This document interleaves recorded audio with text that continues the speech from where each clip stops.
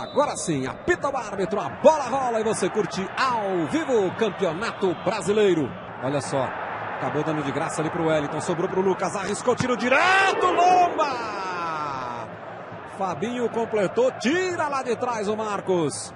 Um foguete ali do Lucas. Defesa importante do goleiro, meio no susto ali na bola, veio em cima dele. Boa devolução de novo. Pires foi para a linha de fundo lá, vem cruzamento. Olha o Dagoberto para fora! Que chance criou o São Paulo. Uma boa tabelinha pelo lado direito, você vai rever. Lucas Pires. O Pires recebeu no fundo, procurou o Dagoberto e cruzou na medida. O Dagoberto teve tempo até para esperar a bola chegar, mas finalizou ao lado esquerdo do gol. A grande chance do jogo até agora foi de Dagoberto. Dagoberto pode até arriscar, vem o tiro direto, a bola passou assustando.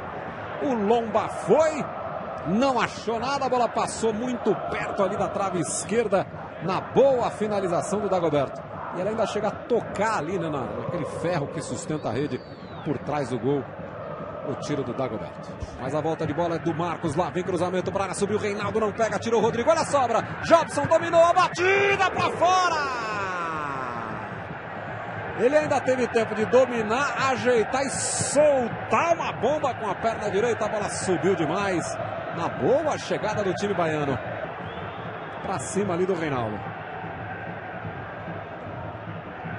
Se o meu termômetro tá certo aqui, nós estamos com 6 graus nesse momento aqui no Morumbi. Tá bom pra você, André? Você tá entrando em cachocar, com cachecol, luvas. luvas, cachecol, capotão, dá pra encarar. Autorizou o juiz, Rogério por cobertura, a bola ficou na barreira, pênalti!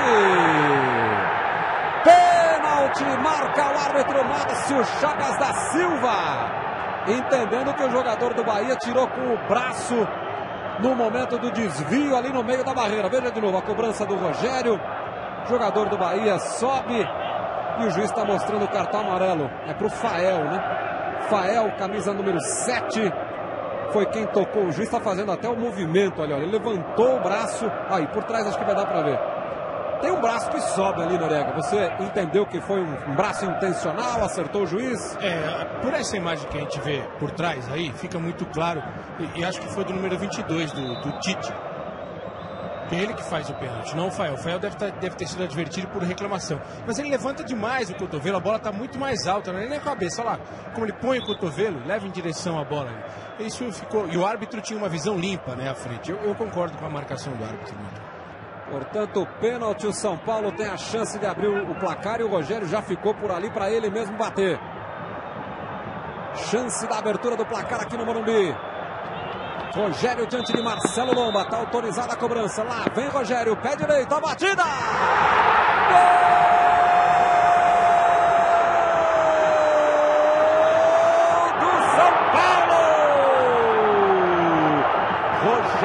cobrando pênalti.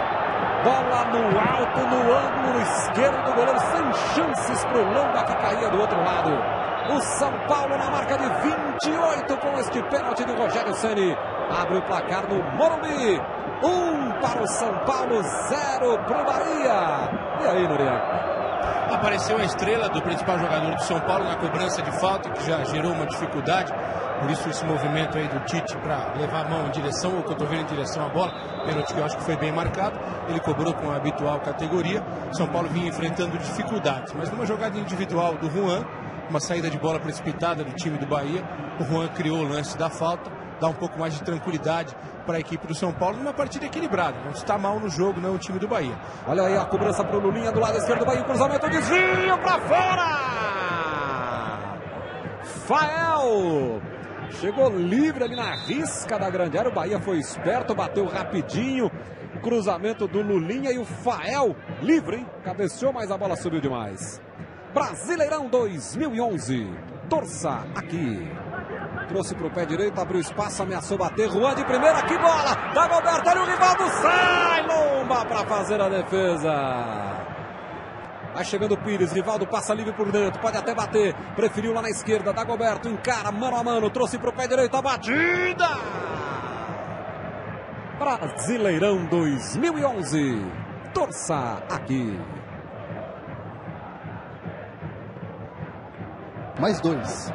Temos até 47, portanto. Olha a roubada de bola do Dagoberto. Ele vai embora no contra-ataque. São 3 contra 2. Encarou. Lá vem o goleiro por cobertura. Golaço!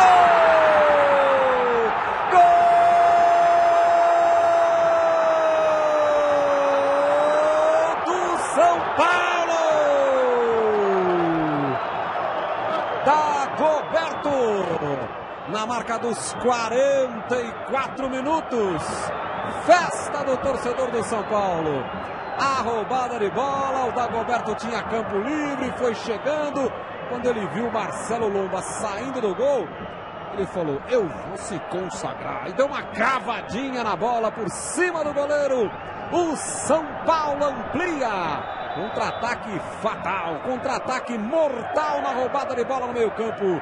Dois para o São Paulo. Zero para o Bahia, Noriega. Um belo gol do Dagoberto, foi muito esperto. Para mim, o tranco dele no meio-campo é legal. Ele, fez a leitura da jogada muito mais rápido que o jogador do Bahia. A princípio, me parecia que a bola estava mais para o jogador do Bahia. O Dagoberto veio, deu o corpo. Repito, para mim, de forma legal. Fez uma arrancada impressionante e mostrou uma grande frieza na hora da conclusão. Abertura para o lado esquerdo, Avni para o Jobson, boa bola, chegou no fundo, olha o cruzamento, Reinaldo não achou a bola. Ela passou um pouquinho mais alta e o Reinaldo não conseguiu finalizar, mas foi uma bela jogada do Bahia ali pelo lado esquerdo. Você está revendo aí, ó. Chegada do Jobson, o Reinaldo subiu e a bola passou por ele. Começa lá atrás com o Tite, ele ficou espremido, perdeu a bola. Olha o Lucas, de novo vai embora sozinho. Lucas entrou na grande área, batida! Gol!